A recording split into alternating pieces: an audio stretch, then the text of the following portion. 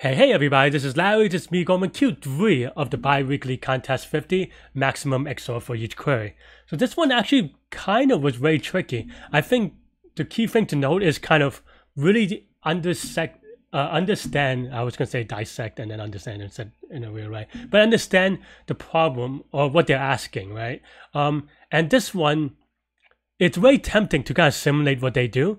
And if you do a for loop, you can kind of uh, figure it out very you know, but it's, you know, you could brute force it in a way, but it's going to take a very long time. So a key thing to note is that that uh, the ends are going to be big, the maximum bit, so you cannot try every possible number. So then the way that I thought about it was, okay, well, one thing that I thought about first was, okay, you know, you look at the example here, and it is essentially, you actually, even though they, they ask you in a really weird way to try to throw you off and confuse you, um, you are actually trying to do the prefix sum or prefix of this. It's just that it's the prefix, but in an inward order. Because now you're trying to get the maximum number for zero, and then try the maximum number for zero and one, and then zero one one and zero one one three, and so forth. And and the way to think about it, it is, uh, it's greedy. It's trying to figure out the complements of these things. So one recommendation I would say for a problem like XOR is that, you know, you look at these operations and they all take XOR, right? And what does that mean? And that that basically means that every bit is independent of each other. And you could be greedy on every bit independent of each other. And what does that mean?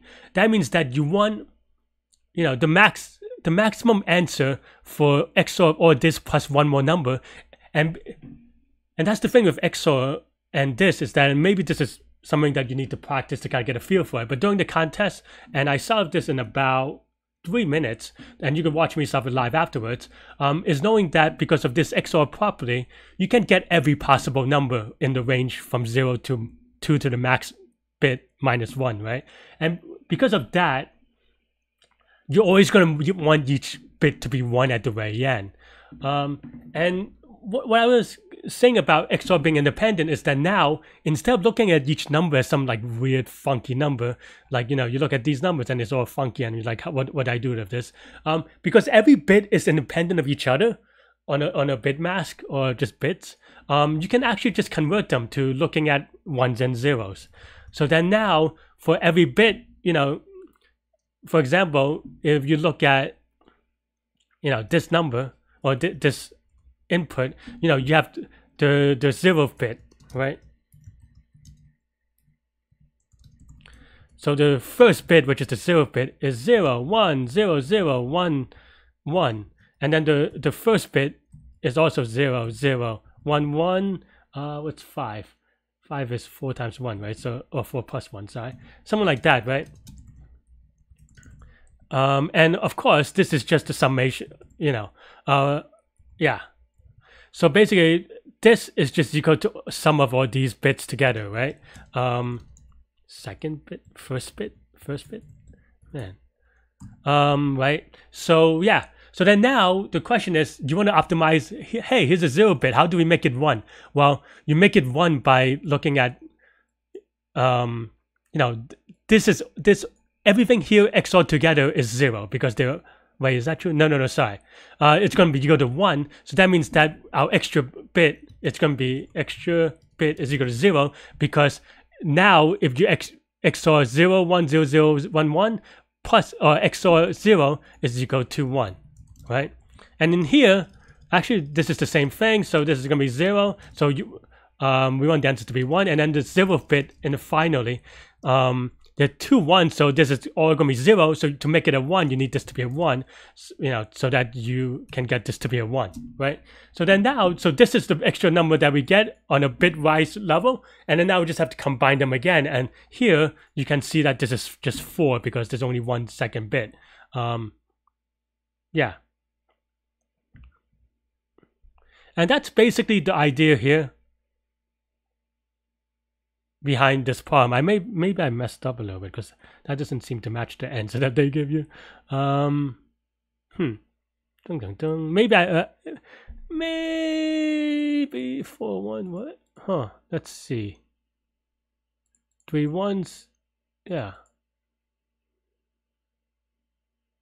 Hmm. Not sure.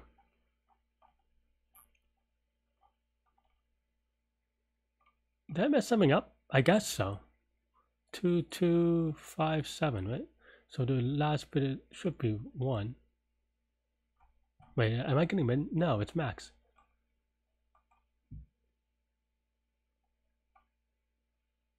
Did I look at the wrong one? Hmm. Man, I don't even know how this works.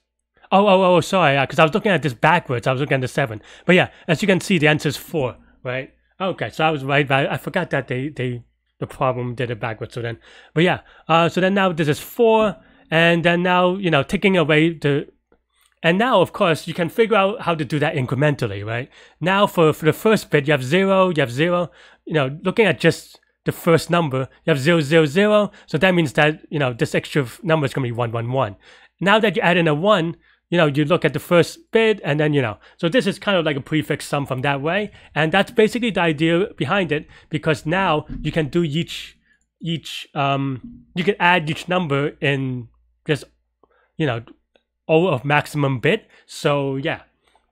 Um, and the way that I did during the contest was I actually took advantage of that and did it all in parallel by using the XOR function. This is basically doing the same thing that we just went over, uh, one number at a time.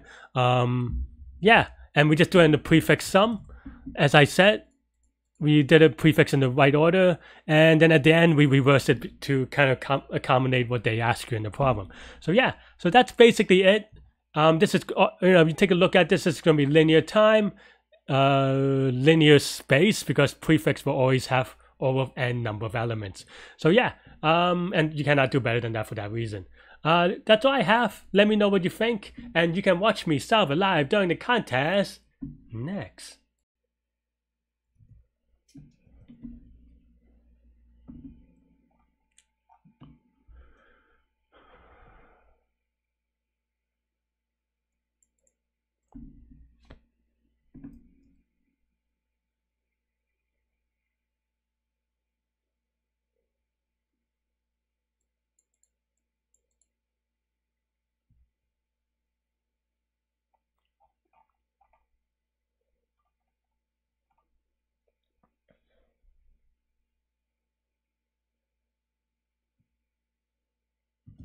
Okay.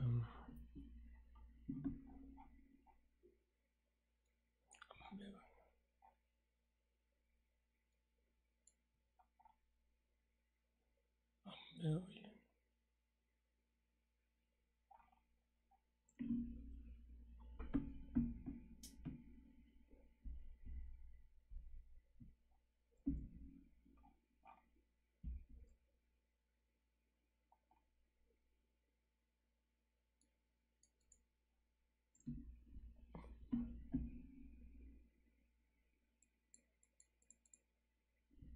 So it's prefix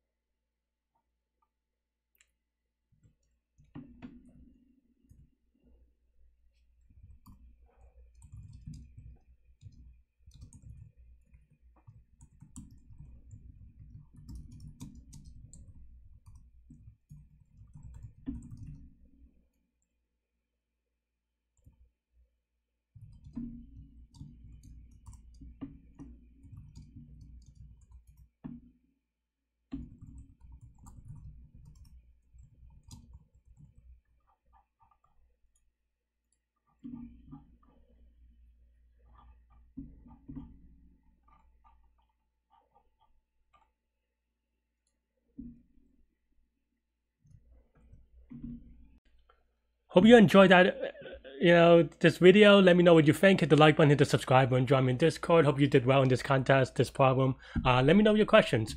Um, yeah. So take care of yourself. Take care of others. Stay good. Stay healthy. Stay and to good mental health. I'll see you next time. Bye bye.